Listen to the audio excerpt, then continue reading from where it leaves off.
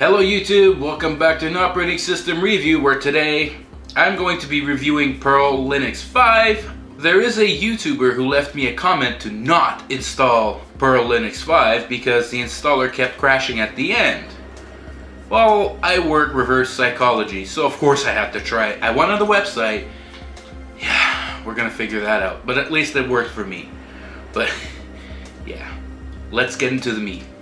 Here, it says well, it was updated on New Year's anyways.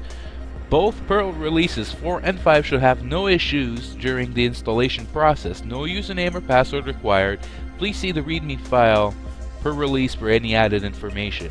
Well, since it crashes at the very end of the installation, and it looks like, I don't know if he's tried it beforehand or after, but my guess is, whatever it is, it's a fatal flaw, and you know, I've tried to install Pearl 4 and well beforehand anyways, and it would crash, well it would hang basically or not respond when I was when I selected to uh, install the updates and the third party or one or the other. So I just went straight up, no updates, no third party because well I did have that experience. So and luckily for me it installed without a problem. I hope I hope that was the problem for him. I hope so. If not, that's a big fatal flaw. And even still, it's a big fatal flaw. You're giving the options and your installer crashes with that? No, thank you. So anyways, if you manage to install Pearl 5, this is Pearl 5 in its vanilla state. So we're going to go and look at the dock. So we have Plank, and we have Thunar File Manager, Finder, uh, the terminal, Firefox, uh, Shotwell, uh, your webcam, document viewer, which is PDF, Mick, really? My triple A, oh my god. okay, so we're not even, we're not even a minute through and there's pornography involved. Oh, great. Rhythm Box, which actually is a pretty good uh, music player. VLC, yeah, definitely not you not not worthy of the QuickTime. I mean, VLC is much better than that. Kodi Media Center, yeah. Uh, Control Center, we have Show Desktop. What the fuck? No items in trash, which is trash. Text editor and Firefox again. I mean, there's two of them, so you can't get enough Firefox. Anyways, and this is a stock background, and as you can see from the bottom right, download from pickywallpapers.com. Yep. Yeah, seen that. So here we have this little dot. What the heck is that? Eh, doesn't do much. So we have 84 recommended updates available, and for some reason we have wireless? Okay. And what is this? Oh, that's the volume. Okay. So we've seen pretty much the taskbar and the dock. So now let's go see the menu. So there's still about my computer still lingering around, accessories, we have pretty much all this, USB image writer, which I believe I've covered before, and I do like it very well. Um, we have an education, oh no, fuck no, not Bible time, oh jeez. Enough with the religion crap. Games. Yeah, well, if you like Yahtzee and Solitaire, this distribution's for you. GIMP image editor, Shotwell again, internet, let's go see internet, come on, EtherApe. Oh, this is a convincing icon. Yeah, basic, basic, basic, Pidgin Internet Messenger. Yeah, MSN is dead. I don't know about AOL Instant Messenger, Google Talk, Jabber, XMPP. I don't know. Uh, LibreOffice, of course, out of the box. Uh, Audacity. Oh, it ships with Audacity. Cool. Vokoscreen, which pretty much crashes all the time. Uh, Lingot is not a guitar-only tuner. Sure, let's open it. Uh, okay, so when I speak in the microphone, it seems... Hold on a minute. Yep, yeah, okay. When I speak in the microphone, this is what happens. It goes all over the place.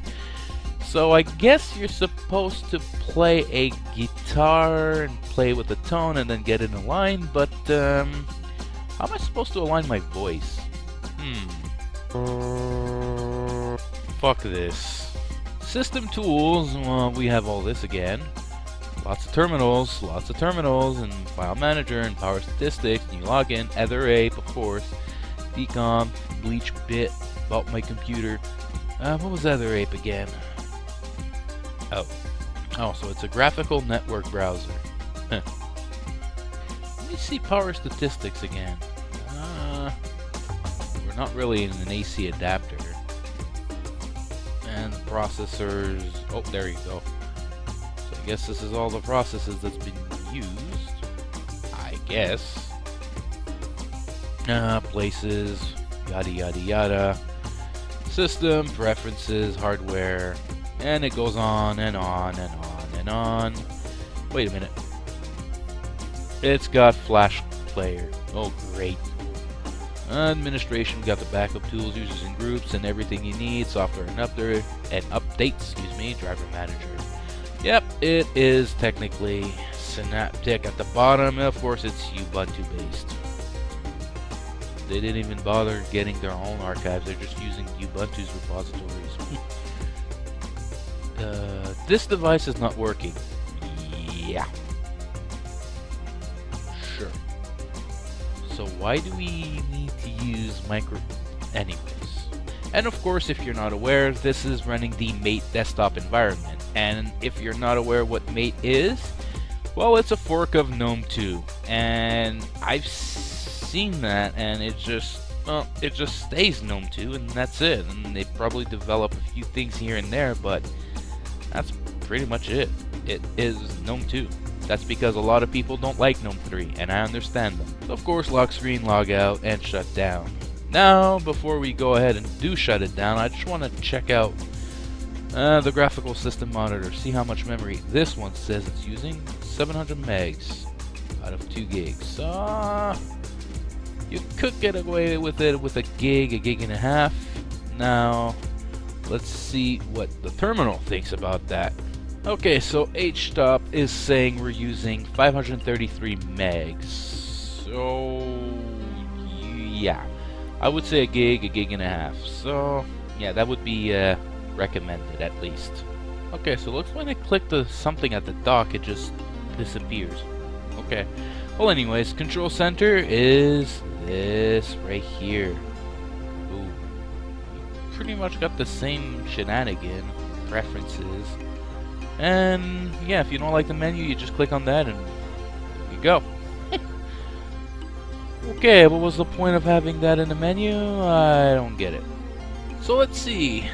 What do we have as backgrounds? Oh my, we have quite the selection.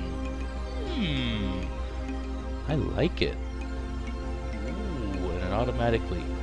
Oh, look at that. Now I have, uh... Looks like my windows are wobbly, so we have desktop composition, and look at that. Wow. This is beautiful. And menacing at the same time. Mm. So anyways, theme-wise, we have all these. Your selection is basically your own selection. Oh, good grief. I can't wait to see that. Check this out. This is completely wrong. the buttons on the right. No, no, no. I mean, if you look at it, it even looks weird, and it's it looks much better here. I, it, uh, but the current theme suggests the font, so well, let's see if we can apply it. Oh, look at that. That's not bad. It's not bad at all. Oh well.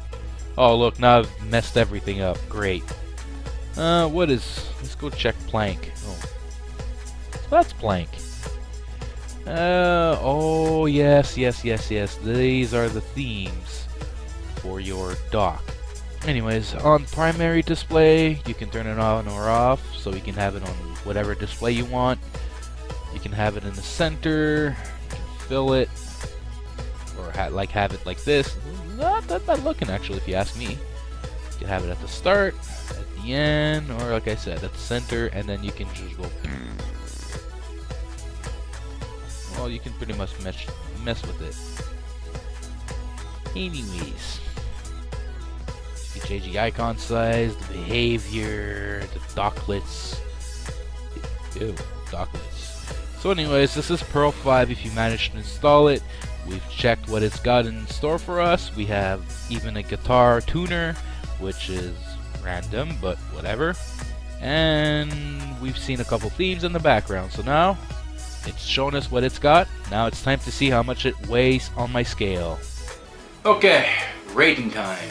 So as far out-of-box experience is concerned, um, it offers pretty much the same thing as Pearl 4. There's nothing extra except maybe the guitar tuner. I don't recall seeing that on Pearl 4, but I could be wrong.